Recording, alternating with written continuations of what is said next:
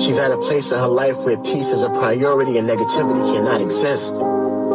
She's no longer matching energy. She's simply removing herself from any situation that doesn't vibrate her soul. So if you start moving funny,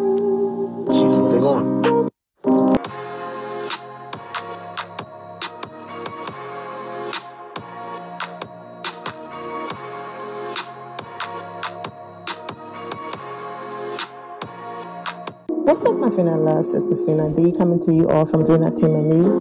She's an icon, she's a legend, and she is the moment. Phaedra Parks had a recent interview and she called Kenya Moore and Porsha Williams possibly coming back on the show together instead of, you know, being against each other. Interesting. She did not completely shut down if there's a possibility of her being on the Real Housewives of Atlanta now that Kandi is no longer there or going back to Married to Medicine.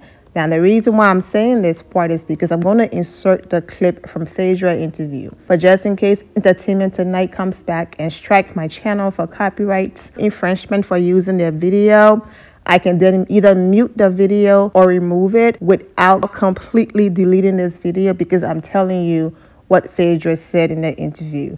But let's get to what she said in her own words. Your first season on Married to Medicine, what was the takeaway for you from that crew?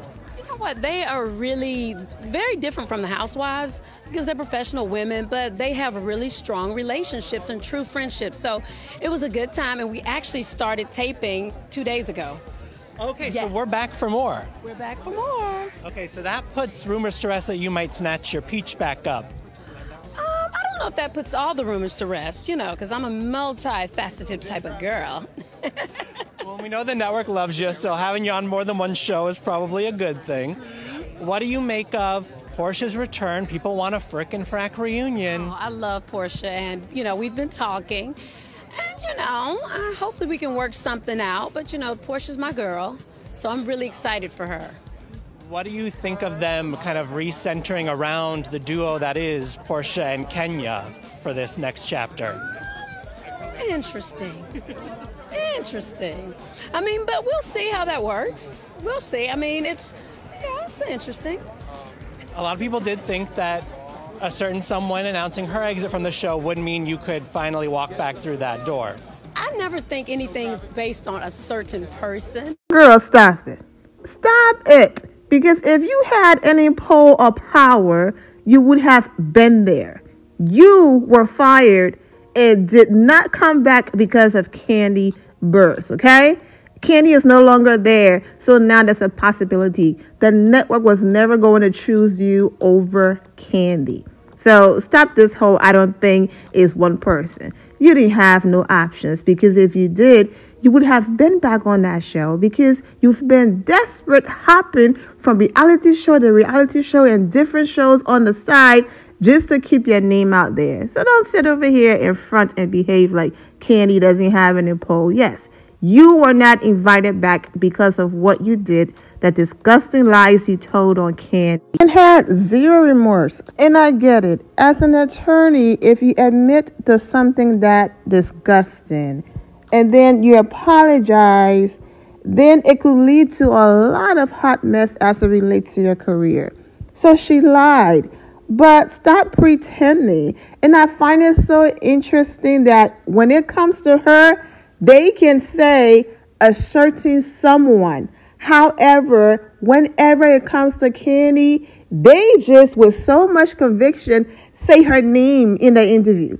You know, and Kandi have to be like, okay, I'm gonna need y'all to move on, or like shut it down. Or sometimes she might entertain it and answer the question, but they be like, so I heard Phaedra. No consideration that this woman lies that she told on Kandi that could have ended Kandi's entire career is still triggering to Kandi, even though Kandi has done her best to move forward and all of that, but it still bring back those memories and all of that. And majority of the interviewers I have seen, they always say Phaedra. Maybe during his interviews with Kandi, he doesn't say Phaedra name either.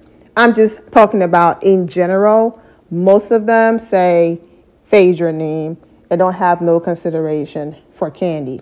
So hopefully, going forward, if someone ever attempt to bring her up, they will say a certain someone and not continue to put Kandi in awkward situation, constantly asking her about this lady who, to this day, have absolutely no remorse for that situation. And I already explained, of course, why she's never going to have remorse or admit to it because then it's going to mess up whatever she got going on. But let's continue. Um, I think the door has always been somewhat open. I mean, but I want to do what's best for me and my family. And so, you know, it's got to be the right opportunity and it's got to be with the right castmates. Once again, the doors were only somewhat open if Kandi wasn't still standing by those doors. Okay? If Kandi was there, there's no door as it relates to the Real Housewives of Atlanta. And that's why the network keeps bouncing around everywhere else trying to make something happen. And everyone got to witness what a huge disappointment you were on Married to Medicine. It was terrible. People were disappointed. You did not show up and show out. You betrayed Quad.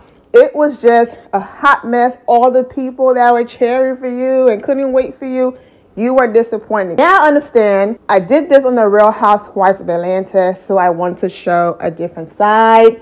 I don't want to come off too aggressive. I don't want to come off as being a backstabber, but you did because you backstabbed Quad, and you all have seen all of the videos I've done on it. I do not have to insert no clips in here, but if you are new here and you missed those videos, just go to the Married to Medicine playlist on this channel and you can catch up and watch those videos.